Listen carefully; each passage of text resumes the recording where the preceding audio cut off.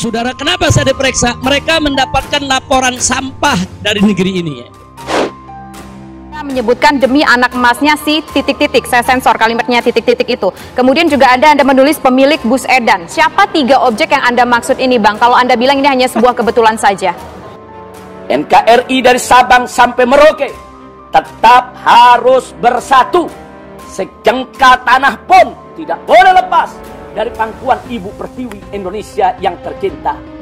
Jangan pernah mengakui kekuasaan siapa pun, kepemimpinan siapa pun yang berdiri atas dasar kecurangan dan kezaliman.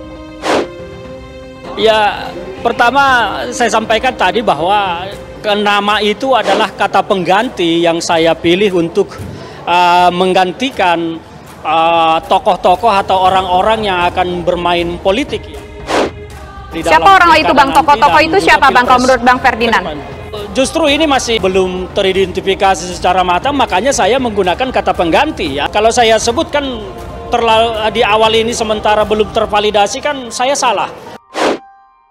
Maka saya ambil kata pengganti di situ sehingga uh, tidak menuduh seseorang tetapi di dalam di dalam peneli, apa kalau saya bilang penelitian terlalu jauh tetapi di dalam analisis saya saya melihat ada ada ada orang-orang yang harus saya perhatikan gerak-gerak politiknya karena uh, politik identitas juga sekarang ini juga kan sangat makin mengeras ya. Kami dari kota suci Makkah Al-Mukarramah sepakat untuk tetap komitmen dalam perjuangan menuju perubahan. 2019 ganti presiden. Ya, ini juga sebagai sebuah kata pengganti ya, karena ada ada banyak orang sekarang di Republik ini yang bagaikan bus yang ugal-ugalan, uh, serong Baik. kiri, serong kanan, tabrak sana, tabrak sini, bahkan remnya pun nggak ada main gas terus gitu loh demi hasil Baik. politik. Nah, itu yang yang saya ambil kata pengganti. Jadi publik yang menerjemahkannya terlalu jauh, saya paham sebetulnya publik menuduh siapa, tetapi sekali lagi saya tidak ingin menyebut itu dan asumsi saya tidak tidak menyimpulkan ke situ. Jadi publik yang ber- berkesimpulan dan berasumsi ke sana.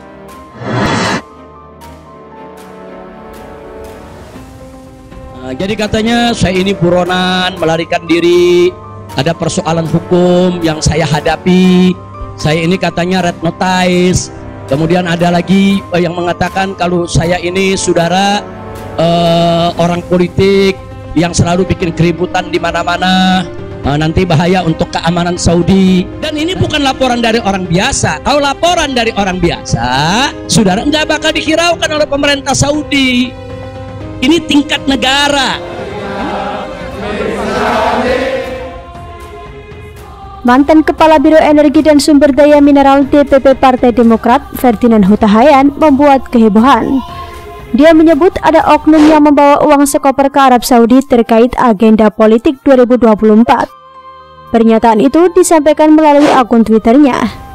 Tak jelas siapa yang dimaksud. Dia hanya menyebut oknum itu dengan nama Chaplin. Yang pasti, dia menegaskan bahwa uang tersebut digunakan untuk membayar segala keperluan yang ada hubungannya dengan agenda politik Pilpres 2024. Atas hal ini, Ferdinand kemudian meminta agar Presiden Jokowi hati-hati dengan Chaplin yang dinilai bakal menjadi batu sandungan.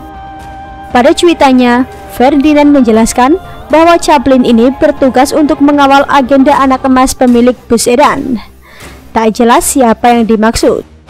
Hebat juga si Chaplin, bawa uang sekoper ke Arab, bayar ini itu beres semua. Agenda politik 2022 menuju 2024 sudah dipanasi lebih awal.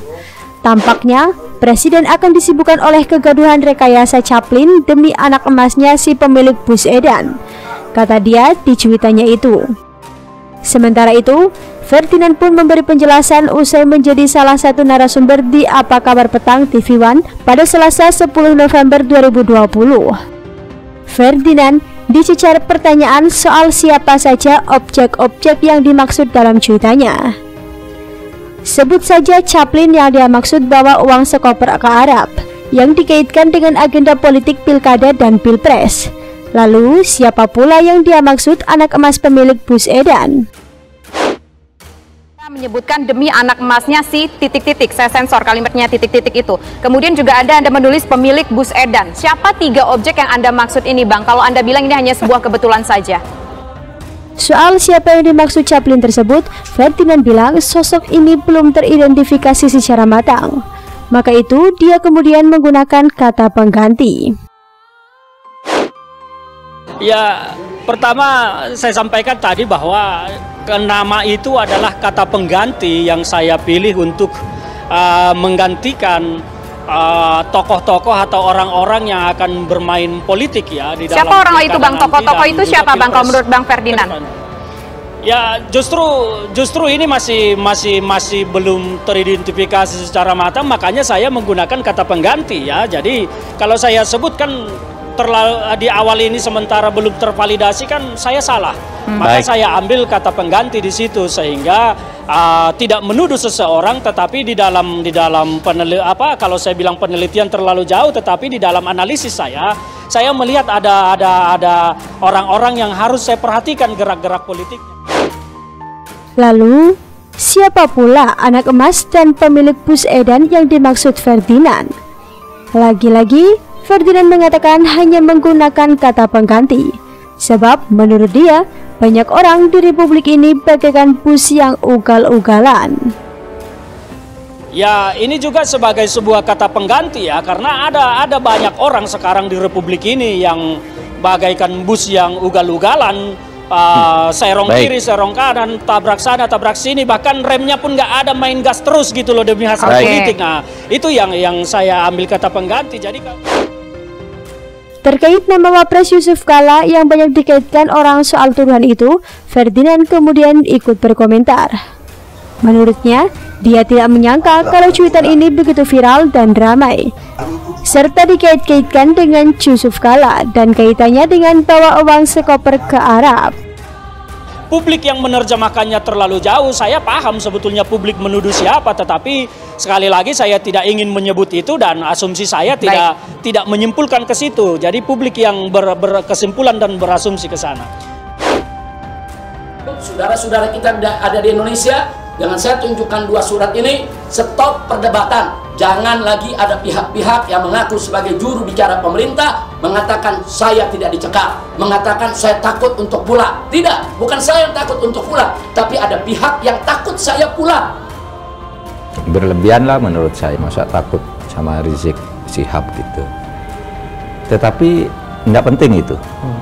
Nah, mereka takut kalau saya pulang, mereka tidak bisa curang dalam pemilu. Mereka tidak bisa melakukan aneka ragam rekayasa dalam pemilu. Mereka takut saya ini jadi ancaman untuk kemenangan mereka. Pernyataan dia kan selalu begitu sejak dulu. Bahkan mengatakan pemerintah ini ilegal, pemilu ini curang dan sebagainya. Hmm. Itu selalu begitu. Ya, saya sebut presiden yang akan datang, yang akan dilantik pada bulan Oktober tahun 2019 adalah presiden ilegal karena hasil dari pilpres curang dan zalim. Dari Sabang sampai Merauke, kita turun ke jalan lengserkan siapa pun presiden yang memimpin.